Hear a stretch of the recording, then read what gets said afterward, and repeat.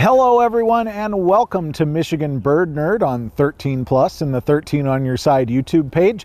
I'm Matt Gard, and it is winter, it is cold, but I think this is one of the most underrated times of the year to go birding, and I'm going to show you why in this episode. So, without further ado, bundle up, get your binoculars, and let's get started.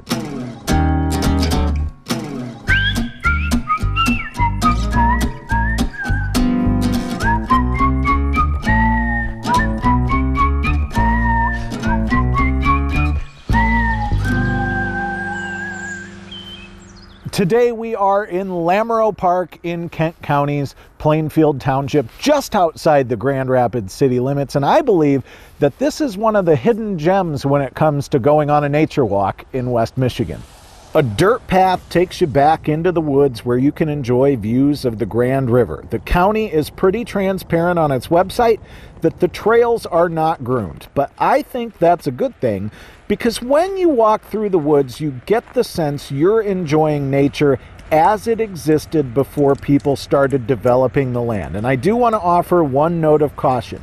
There is a lot of standing water in this park, so in the summertime, the mosquitoes can get pretty unbearable. But I find that Lamoreaux Park is perfect in the wintertime, along with the early spring and late fall. And it's in the brushy understory of Lamoreaux Park where we're going to look for today's bird, the American robin. Now, I know at this point you are probably thinking to yourself, Matt, this is an episode about birding in the wintertime. Don't robins go south for the winter? And I got to tell you, that is the most common question that I get from my friends and family when it comes to birds. And we're going to answer all of your questions about robin migration later on in the episode. But first, let's identify this bird. You probably don't need much help with this familiar face, but here we go. Robins are anywhere from 8 to 11 inches long. Their plumage is pretty iconic with their black heads, their dark gray wings, their burnt orange breasts, and white bellies. You can tell males and females apart because males have more brilliant coloration, whereas females tend to be a little more pale. It can be a subtle difference though, so it can help if you see them side by side. You might also see a juvenile. They're shaped just like the adults are, and they have the same coloration, but their plumage is spotted instead of having those solid colors. Not many birds, including robins, are singing this time of year. However, Robins are some of the most notorious songsters in the bird world. In the spring and the summer months, they're probably the first bird voices you're going to hear in the morning, and they're known to keep singing well after the sun has gone down. Here is what their song sounds like.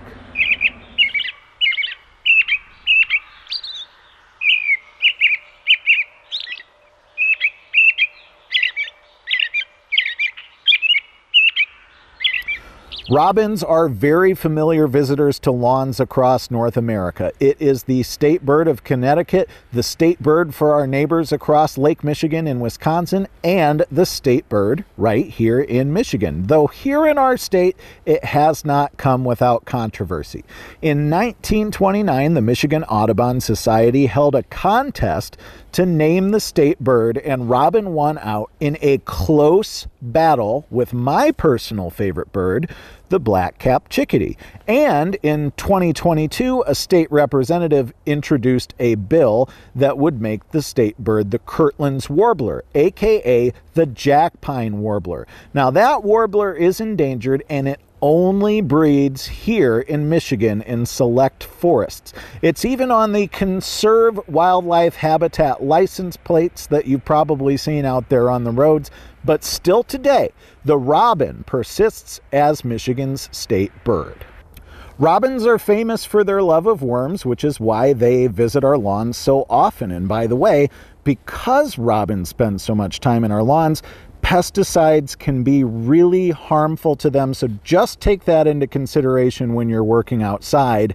And aside from worms, robins love to eat insects and snails, and they also really love berries.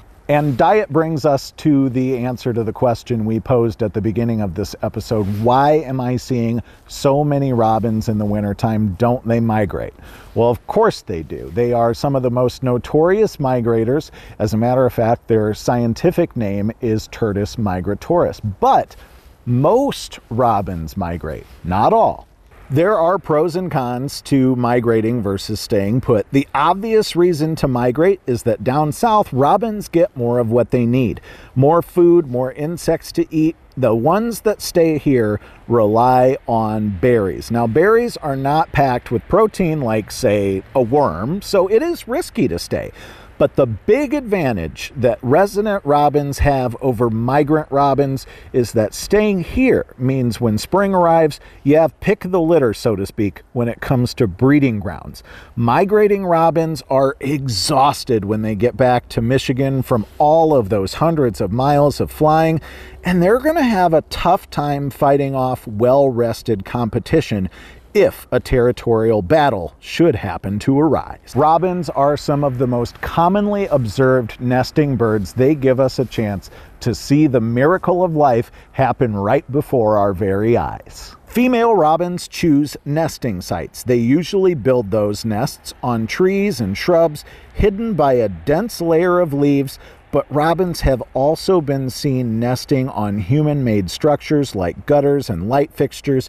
If you would like to build a potential home for a robin, Cornell University's Project Nest Watch has building instructions for nest platforms on their website. That brings us to the birding tip for this episode. You know, I mentioned earlier in this episode that I think winter is one of the best times to go birding, and there are a lot of reasons for that. For instance, less people go to the parks in the wintertime, so you kind of have a little more privacy and you can hear the birds better. But beyond that, I think the birds have less places to hide. The leaves obviously are not there, so it is easier to see those birds. And if you look behind me, you can see the pond here keep an eye on those ponds as winter goes on. Some of them will freeze up, and if you can find the bodies of water that are not frozen over when some bodies of water are frozen over, then that's where the ducks are going to be, the waterfowl, and there are a lot of waterfowl to enjoy here in Michigan in the wintertime. Well, that's it for Michigan Bird Nerd. I am your host, Matt Gard. Catch us again on 13 Plus and the 13 on Your Side YouTube page. Happy birding, everybody.